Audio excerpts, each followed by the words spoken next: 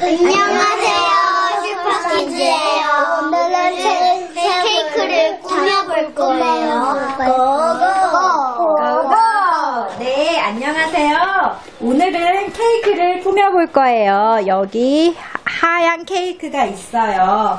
그런데 오늘은 M&M 초콜릿을 가지고 케이크를 꾸며보고요. M&M 초콜릿 말고도 여기에 과일하고 그리고 오리, 러버덕, 그 다음에 어, 이런 젤리 같은 것도 같이 해가지고 데코레이션 해볼 거예요. 네! 네!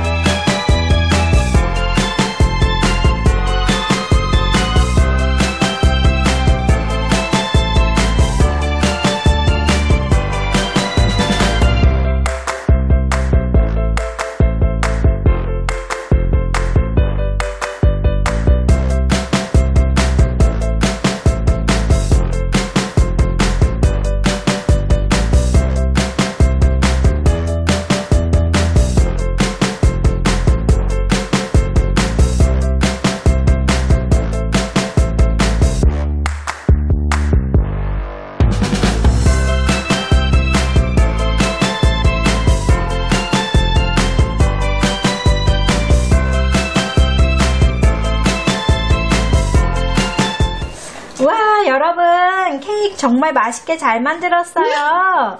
여기 M&M 초콜릿도 있고 오리도 있고 오렌지 파인애플 키위 거봉 다 있네요. 맛있게 꾸몄어요. 우리 이제 이렇게 맛있게 꾸민 거 먹어볼 거예요. 네!